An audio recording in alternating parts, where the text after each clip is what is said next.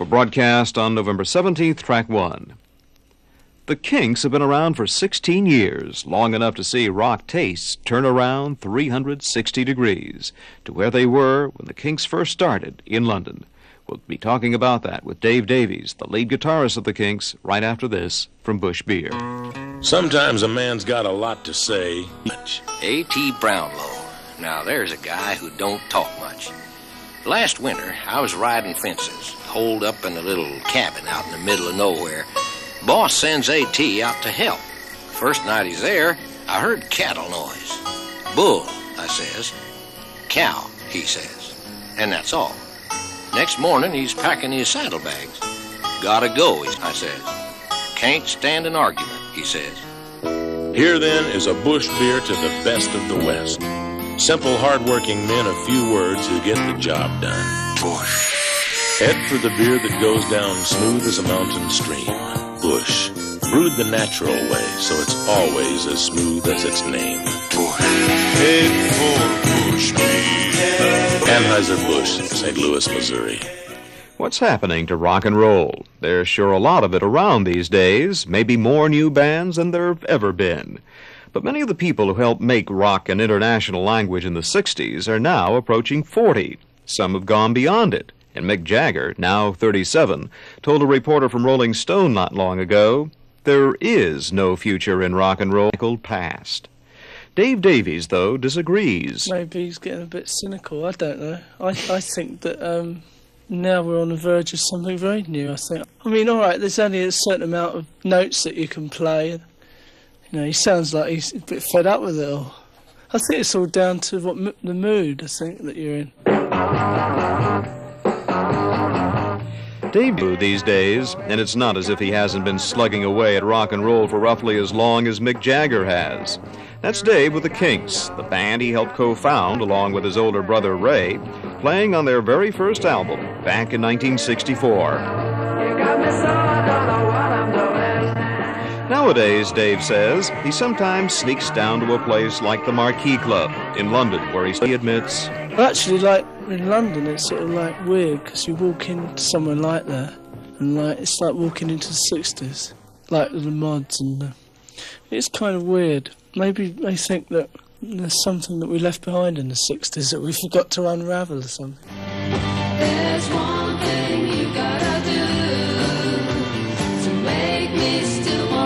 Kinks created a large legacy. The song you're hearing now was the first single by the Pretenders. As it happens, it was also written by Ray Davies and was among the songs on the first Kinks album. It was one of the more obscure Kink songs, and it's kind of nice that um, people pick out an obscure one. In actual fact, it seems, in England at any rate, that in the sort of pub circuit, like we have rock bands, each band seems to use a, or has chosen a different obscure Kink song to use in their set. But all those bands hope one day to become as successful as, say, the Kinks. Whereas when the Kinks started out, says Dave, he could never think beyond the following day. Dave Davies will be talking about the beginnings of the Kinks when this interview with him continues. This is Lew Irwin, Earth News Radio, for Busch Beer.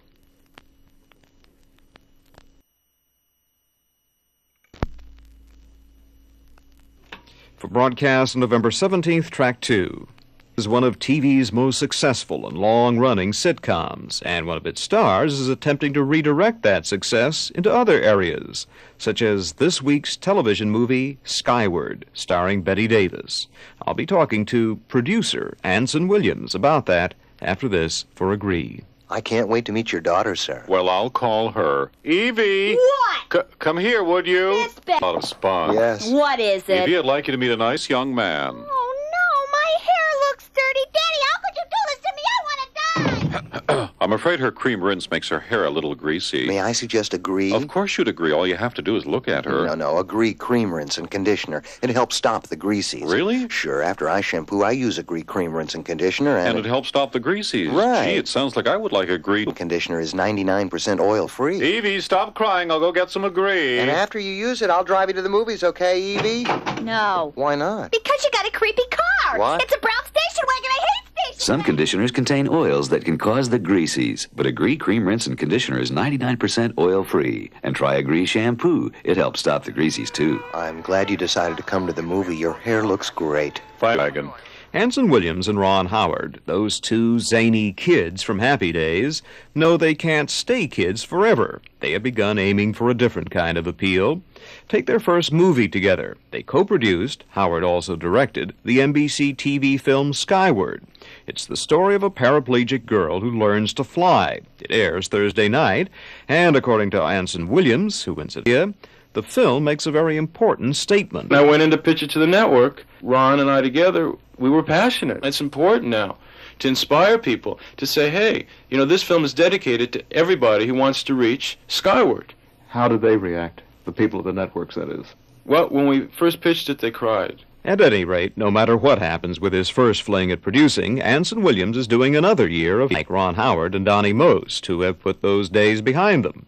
Why is Anson staying on? Well, first of all, I really enjoy the show. I mean, you're And I pushing just find 30 not- now, though. I mean, Yeah, I'm 31. Yeah, well, you're But uh, 31. I think they're marrying me on the show this year. Is it kind of peculiar not working with the same people? I feel nude. Yes, it is different not having because you're used to after seven years you're used to having a certain chemistry with people. Is it still fun? It is fun. It seemed to come across on the show. I mean, as dumb as sometimes the show is, it does look as if the performers on that show are enjoying what they're doing. I well we do, and I think that's why America picked up on the show so much because they they feel the vibes and it makes them feel good. It's funny we never had a good review on Happy Days, I don't think, but I've never known a cast that's done more for the public ever what- in the history you of mean? television. In terms of you know giving your support to benefit us. If it sounds as if Anson Williams is blowing his own charitable horn, you're probably right. But it seems there's more horn to blow. There's the Happy Days cast contributions to show business. Henry Winkler's into production. He's, he did that, put that thing on with the DeBolts. Tom Bosley's into production. He's got a couple of feature films that he's in, behind of coming out. Marion Ross is a wonderful dramatic actress going in other areas. There's going to be a lot of improvements in, from our cast. The star of Skyward, Anson Williams' latest contribution to the industry, is Susie Gilstrap, who is, in reality, a girl confined to a wheelchair. Williams says he's convinced it will become a TV series, perhaps a kind of Happy Days for the handicapped. Then again, I guess that's the way a lot of people think of that series to begin with. This is Lew Irwin.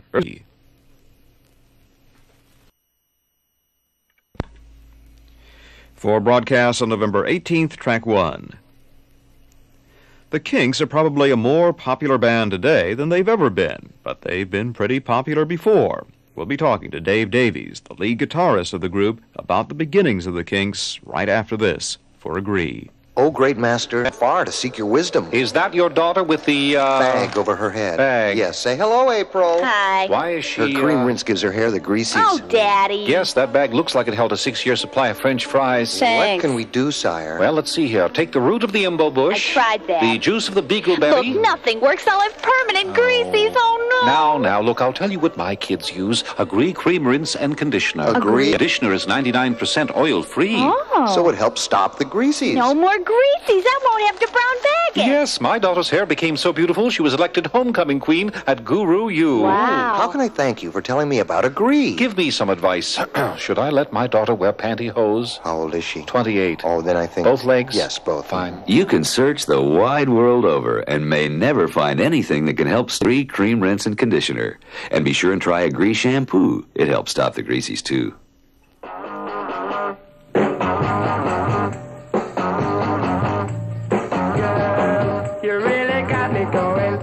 You Really Got Me was the first hit single on both sides of the Atlantic for a young British group called The Kinks. The year was 1964, but if the music still sounds its resemblance to what's going on in rock music today, in its energy and its somewhat defiant roughness.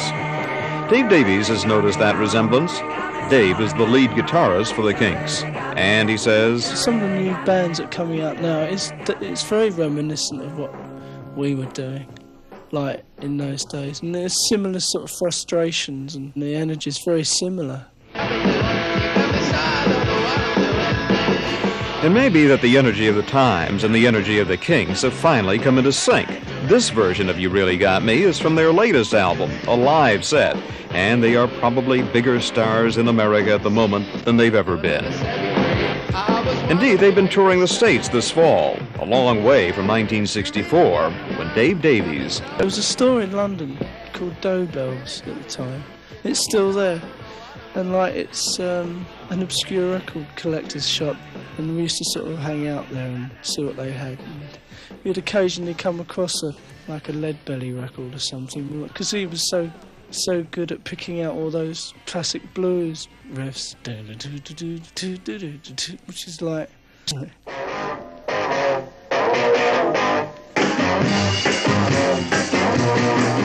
And once the Kinks began performing, there was Dave, his older brother Ray, and two others. Their rise to the top was classically fast. In Britain, they had one hit after another. And, says Dave, when I think back on it, it's like some sort of flash. You know, I don't think I cared whether it was going to last a year or ten years. It didn't even enter my head. It was a very instant thing, a very day-to-day thing. I think because I left school and went straight into um, rock and roll, really. I suppose the first few years of it were a bit weird for me, a bit crazy. I believe that you and me last forever. Those first few years also brought the first of a thousand questions for Dave. How did it feel to be Ray Davies' younger brother? Dave will be talking about that when his interview with him continues tomorrow. This is Lew Irwin, Earth News Radio, for Agree.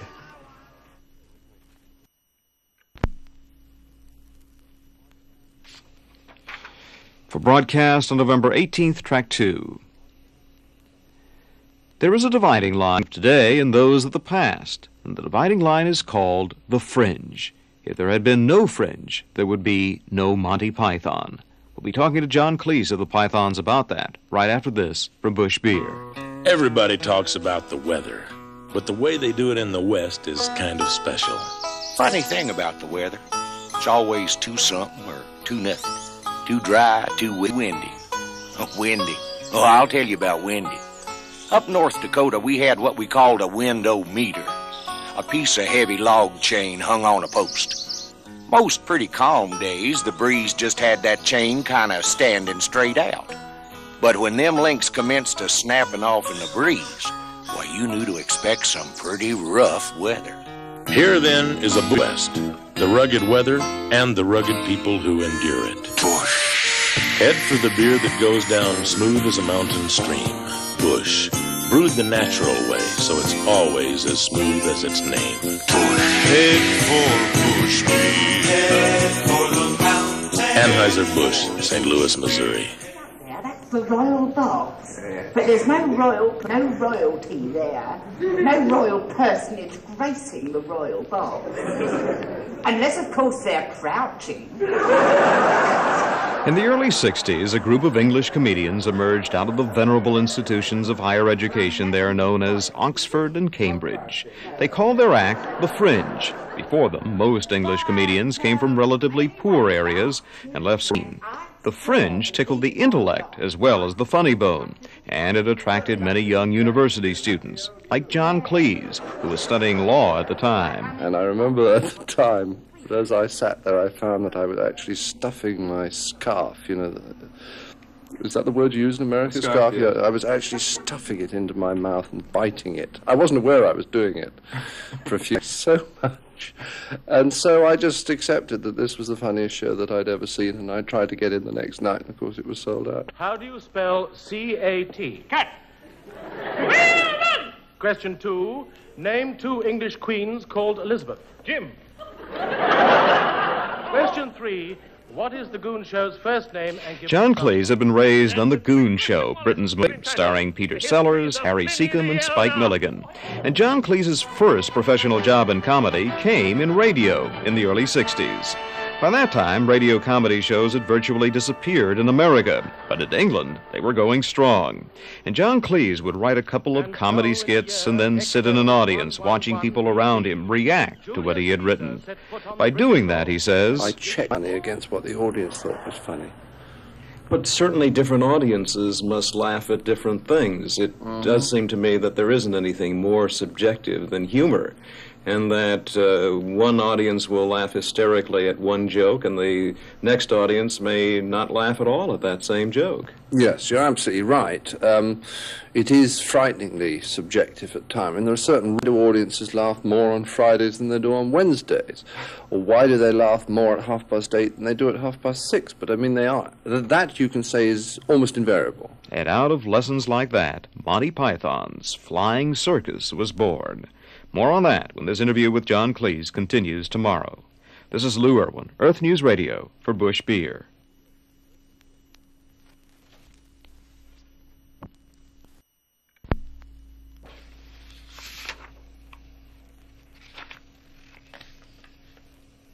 For broadcast on November 19th, track one. Dave Davies is probably the most famous younger brother in rock and roll. Dave is lead guitarist for the Kinks, but his older brother is Ray Davies, the group's songwriter and lead singer. We'll be talking to Dave about that right after this for Agree. I can't wait to meet your daughter, sir. Well, I'll call her. Evie! What? C- come here, would you? She's got a lot of spunk. Yes. What is it? Evie, I'd like you to meet a nice young man. Oh no, my hair looks dirty.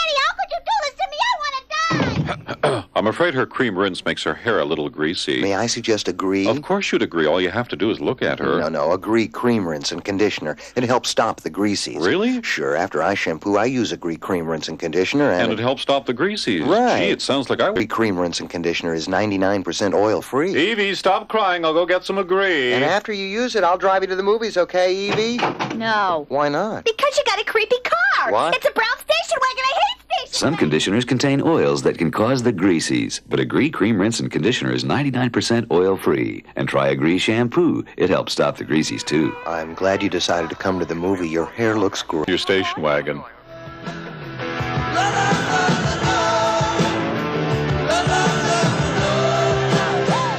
Ray Davies is the focal point of the Kinks. Along with his younger brother Dave, Peter Quaife, and Mick Avory, Ray founded the Kinks in 1964. Since then, as lead singer and songwriter, he has led them from their early hits, songs like All Day and All of the Night, to their next 70 with Lola, to their current eminence in America. This version of Lola is from their latest album, a live set. The Kinks have never been superstars exactly, but Ray Davies has acquired fame nonetheless, although he himself has not agreed to an interview with anyone for some time. His younger brother Dave, meanwhile, has acquired something else. It's like, um, you just, did I ever feel overshadowed by Ray? Yeah. Ray like being the front man. But I felt, I've always felt that um, I had a very significant role to play within the band. And it, it's not always necessary to be a, you know, an apparent sort of figurehead to be important. I mean, a band's only, only as important as everybody else in the band for it to work. Will do the same job. And in fact, Dave Davies has no doubt influenced a generation of rock guitarists. But the fame of the Kinks, he readily acknowledges, is based at least as much as on their music, on the sensibility of Ray Davies. As Dave puts it, You can still say something serious and be funny, and sometimes you can say something more serious by saying something funny. Indeed, one of the sharpest satires of the era was a Kinks song, Dedicated Follower of Fashion, which came out smack dab in the middle of the swinging in 1966. Still, Dave suspects that as the years wore on, fans began to be intimidated by his brother's wit. In the late 60s, the Kinks recorded Shangri La.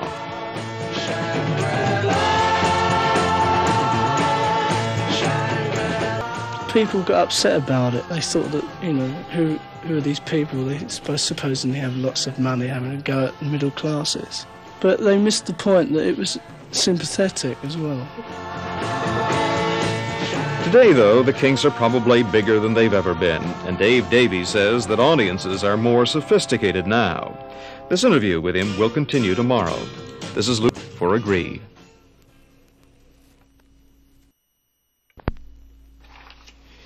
For broadcast on November 19th, track two. Britain and America join two countries separated by a common language, and nowhere is that division more apparent than in comedy. John Cleese of Monty Python will be talking about that after this from Busch Beer. There's poetry in the West, You can hear it in the way people talk about everyday things, like fences. There's a lot of sorry things can happen to a fence. Or children. She's cuter than a speckled pup under a red wagon. The cowhand's bunkhouse. I hung my clothes on the floor so they wouldn't fall down and get lost. Even personal finances. I'm so broke I can't even pay attention.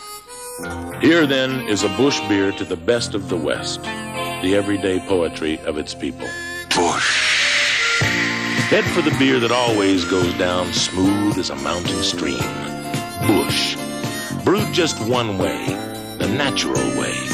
For a taste that's always as smooth as its name. Busch. Head for Busch beer. Head for the mountain. Head for Busch beer. Anheuser-Busch, St. Louis, Missouri. What's the point of going abroad if you're just another tourist carted around in buses, surrounded by mm. sweaty mindless hosts from Kettering and Boventry, with their block backs and their bardigans and their transistor radios, complaining about the tea. Oh, they don't make it properly, do they? And stopping at Enniswood, York and Comedy doesn't always travel well. What is funny to a New Yorker is not necessarily funny to a Nebraskan, and what is funny to an Englishman may be positively incomprehensible to an American, and vice versa. What I recommend to you is I'm being herded into endless hotel Miramars and Bellevues and Bontinents. Nobody understands that fact of life better than John Cleese of Monty Python. In fact, Cleese himself often finds American humor baffling. He recently watched Robert Williams performing with a group at the Comedy Store in Hollywood, and he says, Now and again, at certain points in the sketches, I must have felt like somebody from Germany who's learned English at school and has spent three weeks in England. You know, I mean, I didn't know what they were talking about. Williams and the group of young comedians at the Comedy Store were referring in their act to American brand names and town names, to the way people behaved in certain places. Now, if Williams were in England watching a group of young comics there, he might have had the same problem that John Cleese had that night. Once you go into a shop and say, Could I have a face flannel, please? And you suddenly discover, as I do from your reaction, that I should have said a washcloth. And uh, there are a lot of uh, a lot of variations in the language, but they're much more just uh, in just little simple nouns, the kind of things you buy in shops. The abstract words that you use in sort of discussions like this tend to be absolutely common, but a lot of humour is about the observation of what people wear and what they buy, and that's where I would get very, very stranded in American comedy. In fact, perhaps only Peter Sellers has been able to bridge the language gap between America and Britain to be accepted as an American comedian in this country and as a British comedian in his own. John Cleese says he has tried to study the nuances of words and accents in America, but has given up. I find it very, very difficult to uh, place an American accent, absolutely impossible to do one. All of which makes the enormous success of Monty Python in America the more astounding. For Python is the only British comedy team which ever has achieved major success here. More on that when this interview with John Cleese continues tomorrow. This is Lew Irwin, Earth News Radio, for Busch Beer.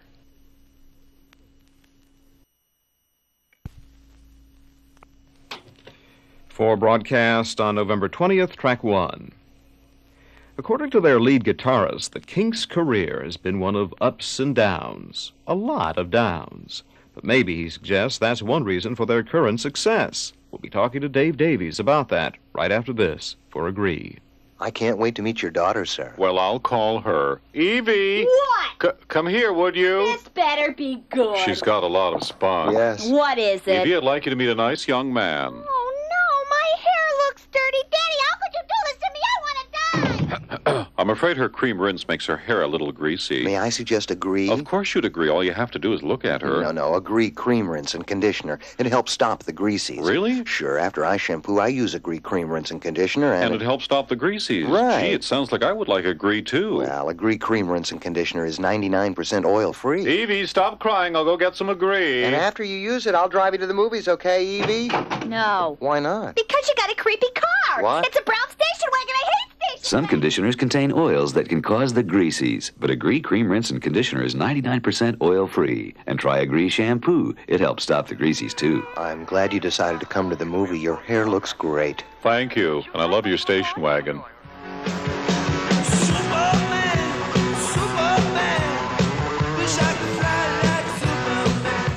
The Kinks turned 16 this year, and seldom has a rock group had a sweeter 16. In fact, Dave Davies, the lead guitarist of the group, says that they're probably more popular than they've ever been. This version of their hit Superman is taken from their current album, the two record live set, and a bestseller. Not that the Kinks haven't had hit records and triumphant stage shows before. We've never really been like a superstar band, and like we've we've had sort of up and downs, a lot of downs as well. Partly, says Dave, that's because the Kinks have followed an admittedly eccentric course, led by Dave's older brother, Ray, the band's songwriter and lead singer. The group has had ambitious concept albums and toured with elaborate entourages, not always successfully. But partly, as one rock music reference book says, the Kinks were victims of most of the corporate ills that the record business is heir to. To which Dave replies, Yeah, sure. Of course we, of course we have been. I think when we started, we were sort of right picking for some sort of more ruthless sort of type of personality. But I think that um, people are more aware now. I think that doesn't go on so much now. That wasn't all, though. The momentum of the Kinks' career in America was broken in the late 60s when they were unable to tour here. We had some problems in about 65, 66 with the immigration authorities. Hmm. I don't know what it was. And we were banned for like three years. Still, from his vantage point in 1980, Dave is, as you might say, philosophic. Now he calls that ban interesting. Because that was the period of all the flower people and all that stuff. So maybe we did did the right thing. Indeed, when you ask him to speculate on the reasons for the Kinks' staying power, Dave replies, I think sometimes when a situation is difficult, it makes you do do a thing. When, when things are too easy, you can give up quicker in a way. And Dave Davies says he feels younger today, in the Kinks' 17th year, than he has for some time. He even has his own album out.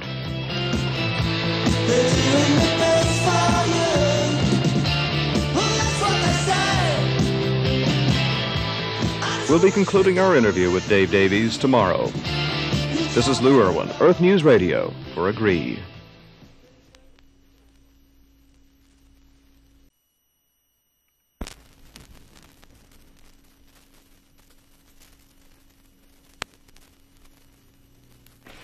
For broadcast on November 20th, track 2.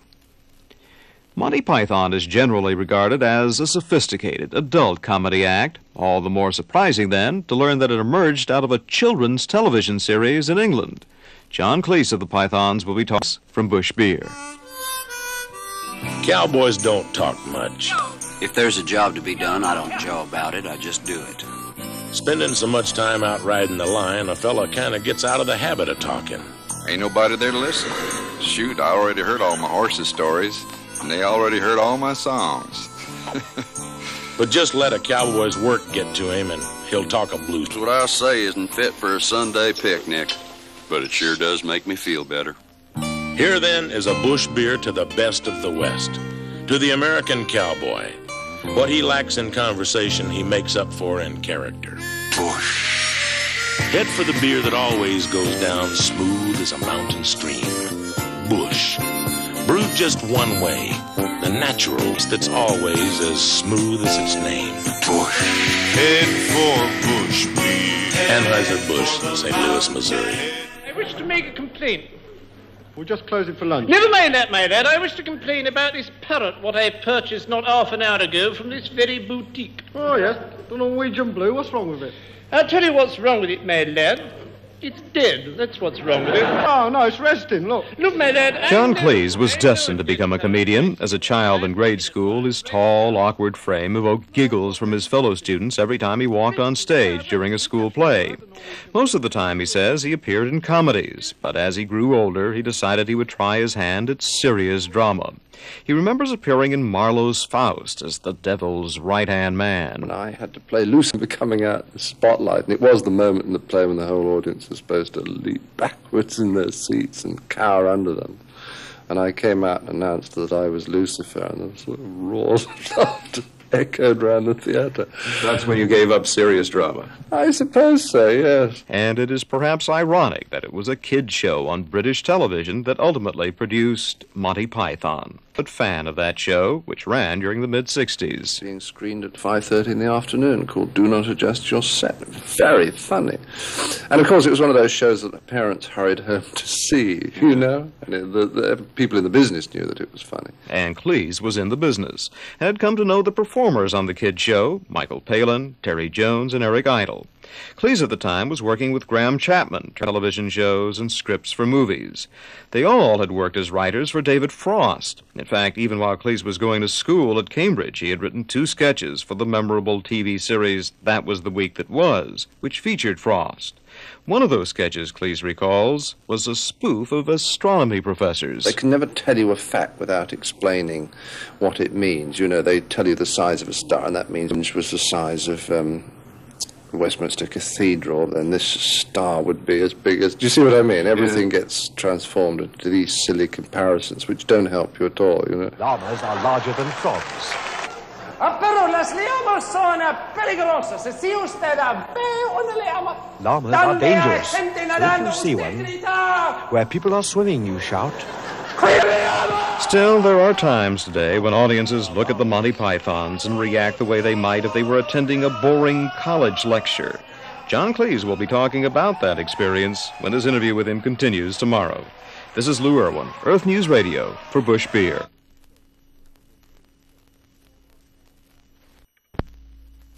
For broadcast on November 21st, track one. Everyone's talking about burnout these days, but the Kinks, after over 16 years of performing, are still going strong. How come? Well, we'll be talking about guitars of the Kinks right after this from Busch Beer. Spend some time in a small town bar in Longhorn Country and keep your ears open. Old Jack Johnson, he had a mouthful of gimme and a handful of much obliged. Why, he's bow-legged as barrel hooped and rich enough to be called Mister. I'd like to buy him for what he thinks is worth.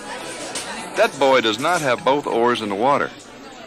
Here, then, is a Busch beer to the best of the West, the everyday poetry of its people. Busch. Head for the beer that always goes down smooth as a mountain stream.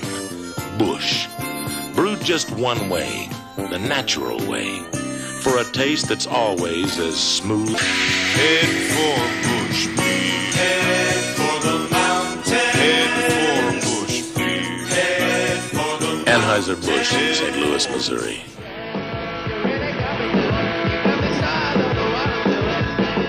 Dave Davies turned 33 earlier this year, which makes him practically a grand old man by rock and roll standards. He was just 16 when the guitarist first began playing in London in the early 60s. You Really Got Me was the band's first hit in 1964, and Dave has probably played it a couple of thousand times since then. This version is from the group's current live album. But you wouldn't know that to talk to Dave. In fact, when you ask him about his career, he says, Obviously, it's it's nicer now because observe what's going on around you more. I mean, when I was 16, I didn't really know very much about what what was going on around me.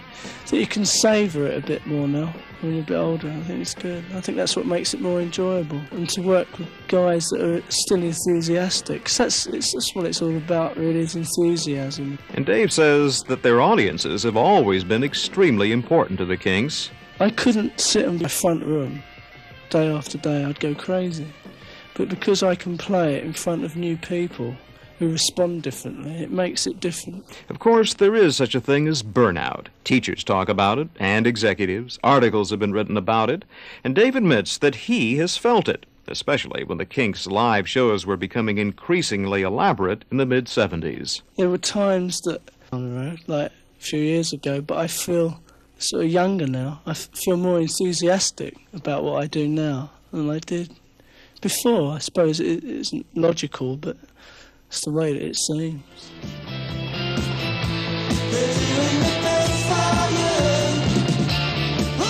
And Dave Davies currently has his own solo album out, and he's been performing some States tour this fall. I have no idea how long it's going to last. I think we're lucky that we're still around and that probably we're more popular now than we've ever been. So, you know, you can't really sort of worry too much about it. Take each day as it comes. Don't worry too much. Have fun. And make people happy with your music. For all rock and rollers. This is Lew Irwin, Earth News Radio for Busch Beer.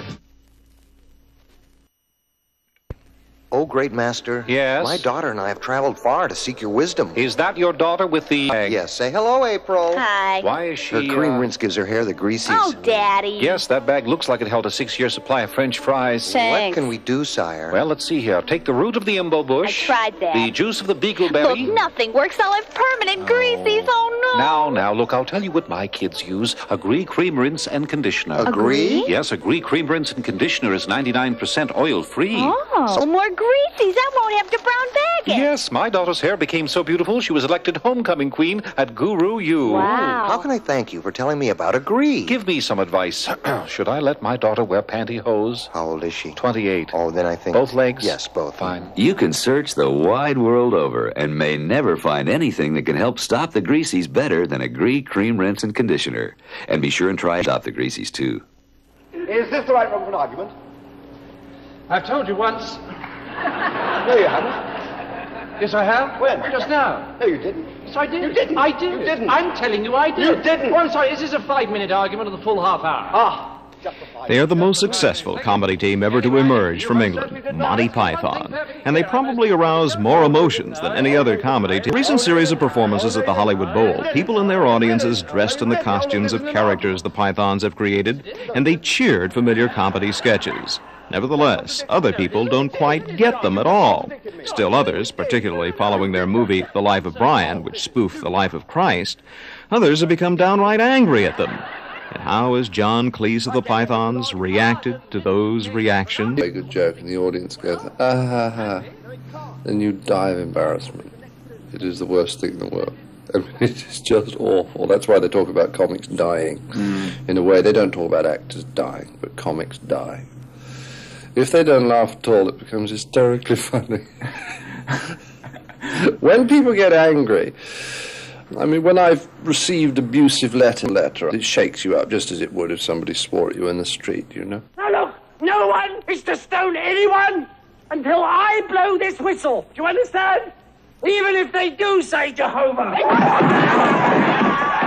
Never did Cleese and the other members of Monty Python find themselves at the receiving end of so much abuse as they did after the release of The Life of Brian last year.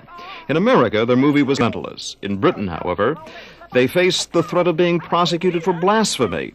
And it turns out the film that was distributed in England was different from the film that was distributed in America. It seems the Pythons had consulted their British lawyers. And they said, look, there's two or three points in the script is slightly suspect. And as far as I remember, we took two of the points out and left the third in because we all felt it was worth being prosecuted. Nothing happened, you know. In the end, the furor died down, and there are some commentators who now insist that The Life of Brian was a profoundly religious film, something which John Cleese insists he believes as well. He has become something of a religious scholar over the years, and he says. In fact, I suppose it's the only thing, the only thing really, that I ultimately consider interesting. Really? Yes. Well, it is the. One thing about the members of Monty Python, they never cease surprising you. This is Lew Irwin, Earth News Radio, for Agree.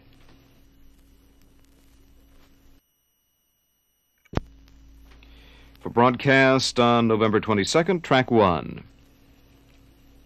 A psychic advised the new rock group Ghostriders to acquire a most unusual instrument. We've heard voices come out of it that that didn't make sense at all. We don't know what, what they were, and we may never find out. We call it the ghost beam. And I'll be talking to Ghostriders Daniel Stickler and Gary Gossett about the ghost beam after this for Agree.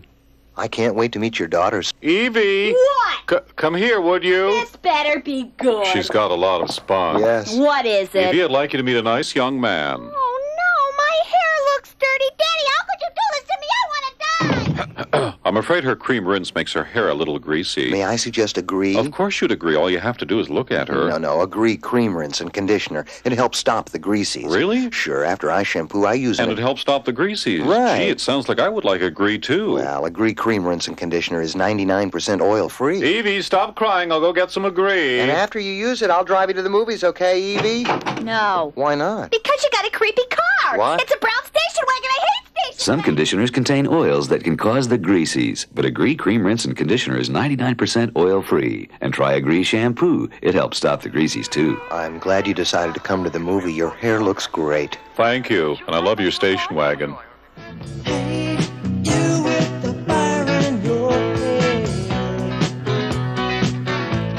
The new group Ghostriders has a strange and mystical background. According to guitarist Daniel Stickler and drummer Gary Gossett, the group was formed on the advice of a psychic. Financial support was given as a result of a psychic reading.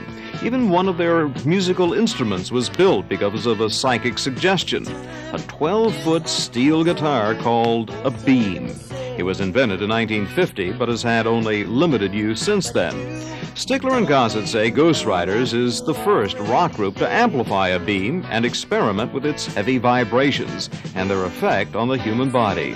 If you become the same vibration as the vibration of the beam, then you can literally be transparent with that vibration. And you've discovered that if you let the beam vibrate for a certain length of time, that the waves in the room become so thick it actually sounds Your like voice changes Your voice everything. changes. It, it, when you talk, it sounds like you're talking into a fan. If you ever did that when you were a little kid. The ghost beam, as they call it, has 21 strings and weighs 300 pounds. And according to Stickler and Gossett, they have to be extremely careful when using it in performance because of what they call super cosmic things. Things like with astral projection, with psychic things like turning, you know, to where your third eye can see, clairvoyancy, or I've know, had an out of body that. experience from it myself. For a rock musician to say he had an out of body experience might cause some people to wonder if the band was stoned. Sometimes straight, sometimes stone. And with me, I left my body when I was straight. But I've had some some weird things happen when I was high too. We can only imagine.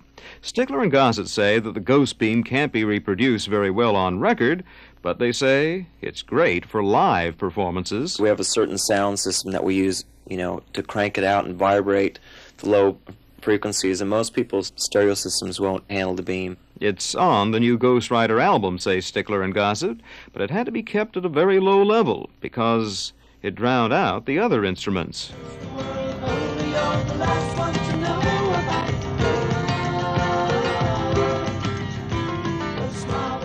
It's used on the song um, Enchant on the first side. If you turn Uh, up the bass, the you fourth can song on the first feel side. it like a it's like taking a bath. It's real soothing.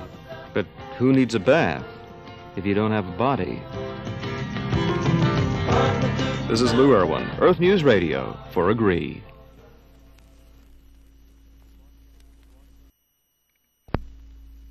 For broadcast on November 22nd, track two. If you've ever been hypnotized and found out later that you made a fool of yourself, well, hypnotherapist James Hoke says it's not the fault of the hypnotist. The fool is in you. I'll be talking to Hoke about that right after this from Busch Beer. Sometimes a man's got a lot to say, even if he doesn't talk much. A.T. Brownlow. Now, there's a guy who don't talk much. Last winter, I was riding fences, holed up in a little cabin out in the middle of nowhere. Boss sends A.T. out to help. First night he's there, I heard cattle noise. Bull, I says. Cow, he says. And that's all. Next morning, he's packing his saddlebags. Gotta go, he says. What for? I says. Can't stand an argument, he says. Here then is a Busch beer to the best of the West.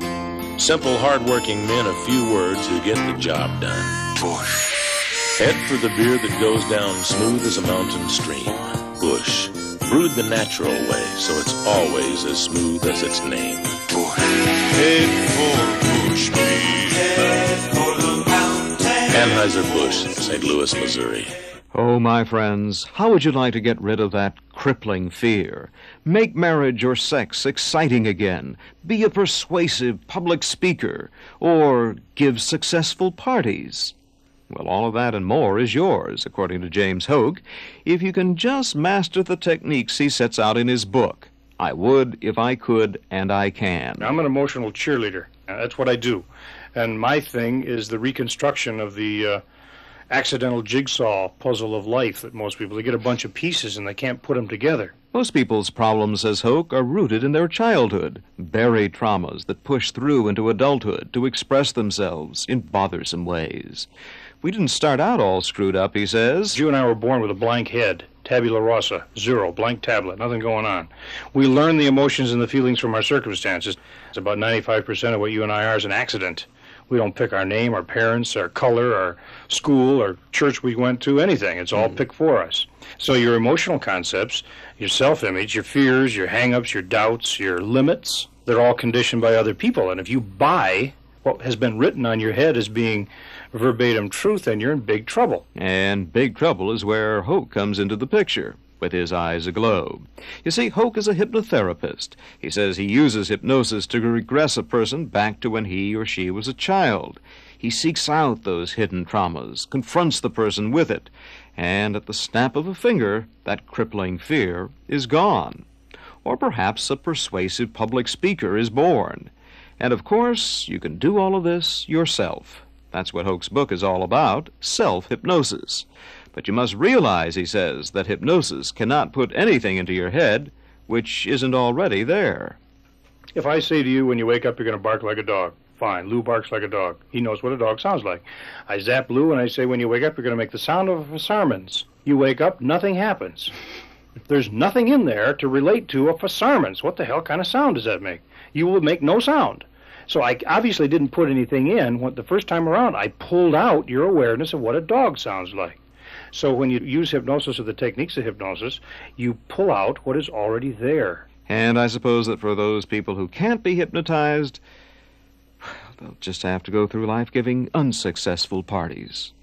This is Lew Irwin, Earth News Radio, for Busch Beer.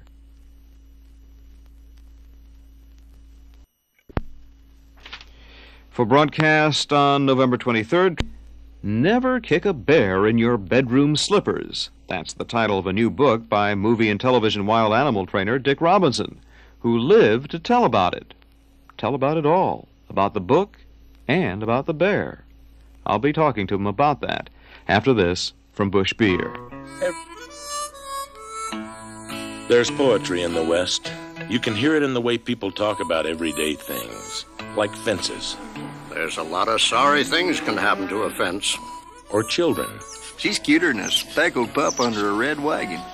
The cowhand's bunkhouse. I hung my clothes on the floor so they wouldn't fall down and get lost. Even personal finances. I'm so broke I can't even pay attention. Here, then, is a Busch beer to the best of the West, the everyday poetry of its people. Busch. Head for the beer that always goes down smooth as a mountain stream. Busch. Brewed just one way, the natural way. For a taste that's always as smooth as its name. Busch. Head for Busch beer. Head for the mountain. Head for Busch beer. Anheuser-Busch, St. Louis, Missouri. Wild animal trainer Dick Robinson has been involved in animal movies like Grizzly Adams and Jeremiah Johnson, and his television credits include several Wild Kingdom segments. Now, one would think Robinson knows how to handle animals, and yet he tells this story.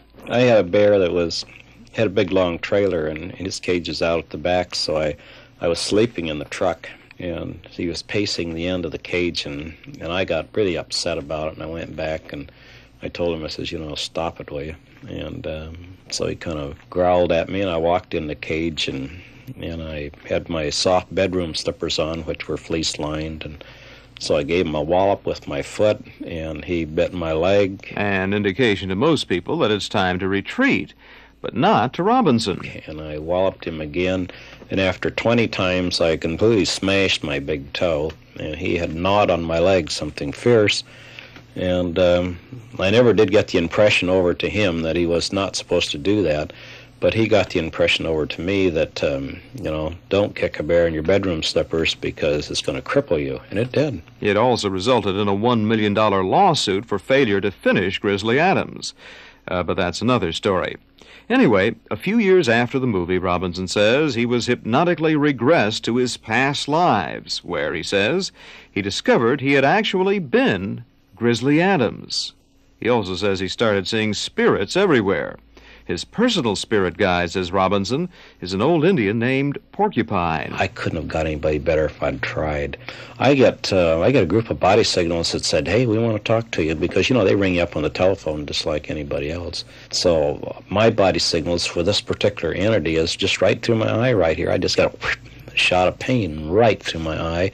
And I was sitting out here in your waiting room and somehow he said, you know, he wants to talk to me. So that means tonight when I go back, I'll sit down at my typewriter and I'll type out a page that he has to say to me. And it seems Porcupine has a lot to say.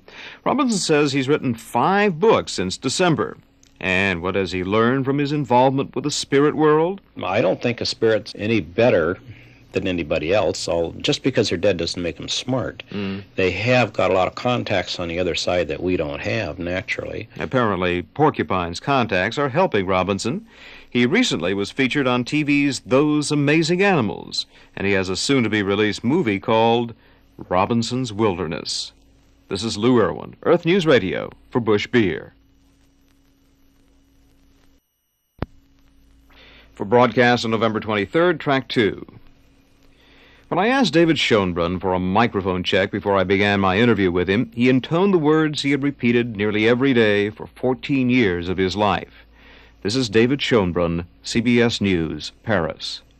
That was back during the golden age of television, and Schoenbrun will be comparing that TV age with the current one after this for Agree.